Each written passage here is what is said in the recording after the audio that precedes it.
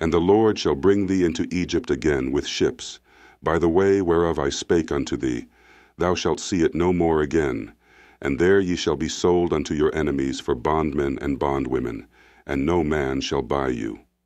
Deuteronomy 28:68, KJV. Egypt as a symbol. In this context, Egypt represents bondage and slavery, which historically ties back to the Israelites' oppression under Pharaoh. While the text references a return to Egypt, it is widely understood that this is symbolic of returning to a state of oppression and exile rather than the literal geographic Egypt.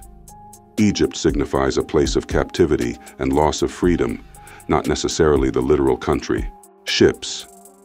The mention of ships in this verse is significant because it represents a stark contrast to the Israelites' earlier deliverance from Egypt.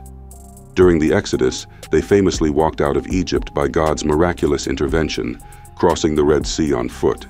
However, this time, the reference to ships signifies a new and harsher form of exile.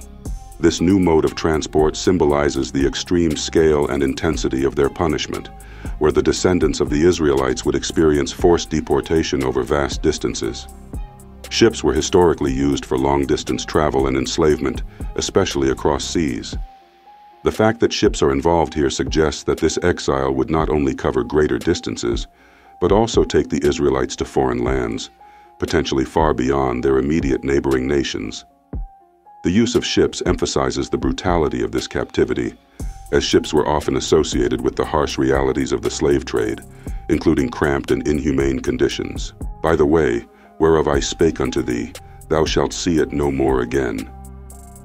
This refers to the path they took out of Egypt during the Exodus, which God had promised they would not need to travel again as long as they remained obedient.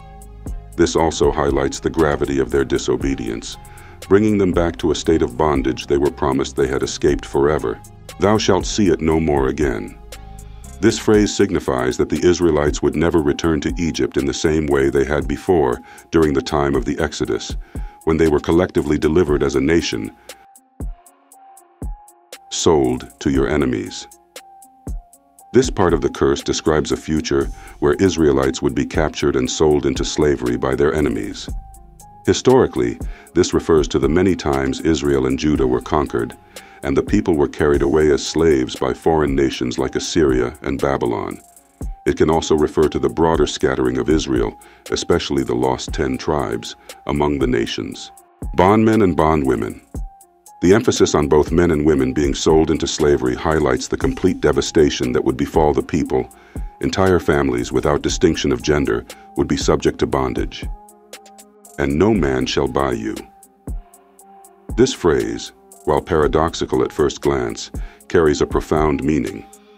If the Israelites are to be sold into slavery, why does it say no one will buy them? This reflects a deeper spiritual and physical abandonment. In a deeper spiritual sense, this phrase also signifies that their ultimate redemption will not come from any human effort, but will require divine intervention. Their condition is so severe that only God himself can deliver them, showing the extent of their estrangement from God and the depth of the punishment for breaking the covenant. It highlights that their restoration would be impossible by human means and could only occur through God's mercy and forgiveness. If any brothers and sisters would like a verse breakdown, please put your request in the comments and I will explain the verses for you. Shalom.